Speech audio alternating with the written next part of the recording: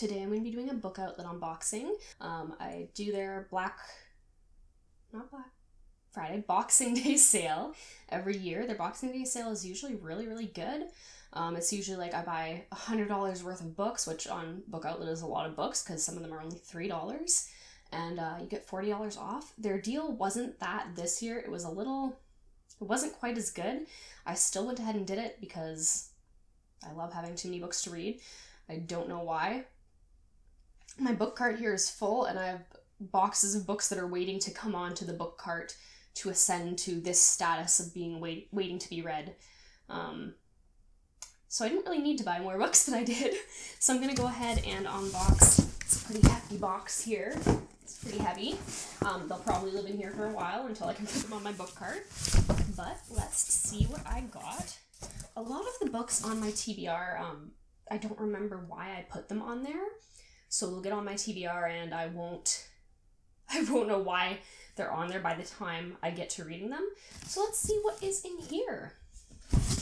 So on the top we have a co- copy of Aurora Rising. Um, I know exactly why I bought this one. It's because it's by the same people who wrote the Illuminae Files, which I don't know if you can see on camera. I'm still new to this. Um, but I am excited to read it. Science fiction isn't really my genre. I'm more of a fantasy person, but I did love Illuminae Files, and I think they did such a good job with making almost like a found footage sort of book, the way that they did different methods of telling the story. So I'm really excited to see what they did with um, Aurora Rising. As far as the quality of the book, it is in good condition. It has that little red spot down there. So most book outlet books are books that didn't sell in stores. They have a mark where they're they were sent off for being overstocked. So I expect a little mark like this somewhere on the book. Sometimes it's on the cover, which I'm not a huge fan of, but that's fine. I don't mind that at all. So that is book number one. I got The Case for Jamie by Brittany Cavallaro. Um, I started this series this year and I loved the way that it depicted Charlotte Holmes um, doing like a Sherlock and Watson retelling with their descendants essentially in a world where Sherlock and Watson were real people. Um, I loved Charlotte. I loved the way that she was written. I loved how she had some of like the worst quirks that Sherlock Holmes had that are often erased in retellings. Um, this I think is the third book in the series, so I ended up having to buy the second book from uh, Indigo because Book Outlet didn't have it. So again, excellent quality. Does have a little scratch there. That's to be expected. Ooh, I know what this one is. So, The Betrothed by Kiera Cass. Um, huge fan of the selection series. It's kind of a guilty pleasure series because I don't think it's that great. Um, especially once it gets to the uh, the last two books in the series about America's daughter. I'm not a fan of those, but oh, I love the way that it was like a fantasy version of The Bachelorette or The Bachelor, I guess. Um, I love them, so I was so excited to see her publishing something else. And um, this one is a nice hardcover. Ooh, the inside is beautiful. I'm really excited to get into this. We love a book with a map. So again, other than that, Mark, excellent quality book. I'm excited to have bought that. So this is Fan the Fame. Um, I think it's about sort of a gaming YouTuber. I am a sucker for any book about fandom or conventions or anything like that because conventions are some of my favorite places in the world. So if I can go to those places, especially now with COVID, everything is canceled. I didn't get to go to Fan Expo this year or anything like that. So I love books that have that setting because it lets me escape to it even when it's not summer and I can't be physically at the convention myself. Um, so that's why I picked up this book. Um, I believe she also wrote Kat and Meg Conquer the World. Something like that. I, I can't remember the exact title. I did enjoy it. It was a nice book where female friendship was the center and it wasn't about romance or anything. It was just about two girls who were best friends figuring that out. Um, so I'm excited to read her next book. And that's probably why I picked that up. Um, I have Queen of Ruin here, which is the sequel to Grace and Fury. Um, Grace and Fury was actually an Owlcrate book in 2019, I believe. Um, so I have the Owlcrate edition of that, but this will match up with it fine. Um, I didn't expect to like it, but I did like it enough that I wanted to read the sequel. I wanted to see where they were going with the plot, and there was the the, the male characters were kind of interesting. I thought one might be book boyfriend quality, but I wasn't sure, so I have to read the sequel to figure out if he is. Again, absolutely nothing wrong with this book. I think it was like five dollars. Um, I can almost not buy books from from Amazon and stuff at, a new price, knowing that in a few months they might end up on Book Outlet for this this cost. We've got American Royals. So this is actually a series that I heard about. Um, I thought the premise was just really exciting about like an alternate America where instead of having a, a democracy, they decided to just have their own royal family. So sort of Washington's family descended into a royal line.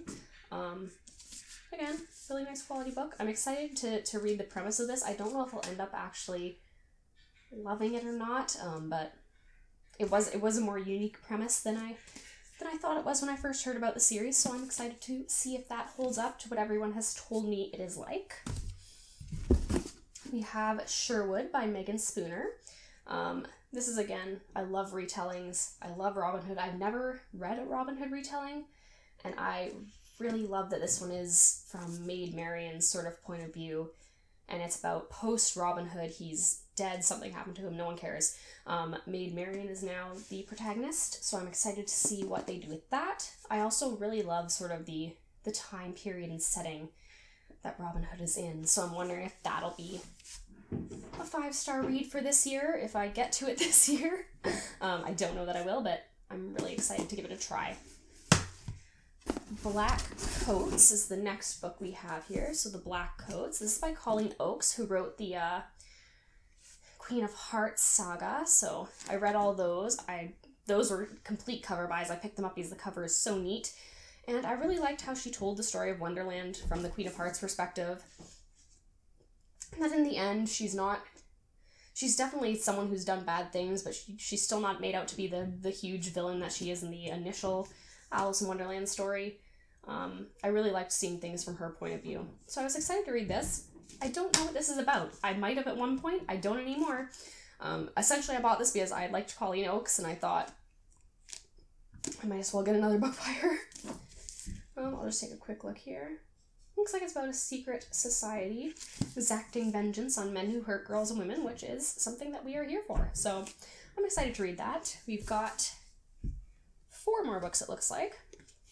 So, A List of Cages was actually recommended to me by someone on my Goodreads. They said I would love this because of some of the other books I read. I like books that deal with hard topics and sort of overcoming them and surviving past certain things. So, this was recommended to me by someone.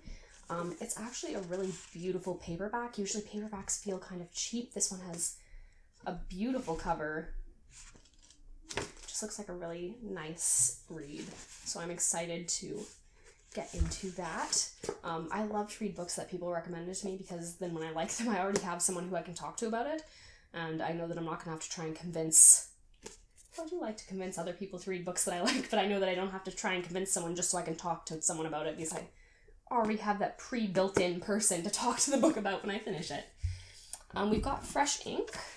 So another thing that I really love is anthologies where multiple authors come in and contribute a story on one subject. This one is about tattoos. So it's I, I don't know much about it, but I do know that there's some art authors in here like Nicola Yoon and Malinda Lo that I really respect and love their work. So I'm excited to see the short stories that got published in here. Um, yeah, I've been waiting to read this one for a while, but it's not one that I wanted to pay full price for, so I've been waiting for it to show up on Book Outlet or somewhere like that. And the last. Okay. So apparently I got two copies of this book. I don't recall putting those in my cart together. Um, things happen. It's probably like $5, so it's not a huge deal. Um, so I did want to pick this up. It wasn't one that I had high on my TBR, so I, I've been waiting for it since it was released, I think, but I wasn't running out to get it. So when I saw it on Book Outlet for $5, I was like, I'll pick it up. And I guess I liked it so much I picked up two copies. So maybe I'll do a giveaway with something or I'll donate it to my local library, something like that. I'm not going to keep two copies of a book. Um, I do have some books that have multiple copies that I do need to purge to a library somewhere. I recently moved and I've realized how many books I have and found books that I didn't realize that I had. So the one of these will be going in that box and the other one I will keep until I have a chance to read it. So that is everything. I think in total I spent maybe $70 to get a, a, a good like $200 worth of books as far as I'm concerned. Like I could go to any bookstore and each of these would be about $30 separately. So I do love Book Outlet. I wish they'd had their usual sale um, that they have on Boxing Day. Uh, but I will be coming back. I know they usually have a summer sale, so I'll probably do that again, even though these books will probably still be in this box waiting to be read because I can't control myself. Anyways, that's everything for today. Thank you for joining me. Um, let me know about your latest book haul in the comments. Tell me if you have any of these on your TBR, if you've already read any of these, what you thought of them. You know, just let me know. I love to hear from you guys, and I'll see you later.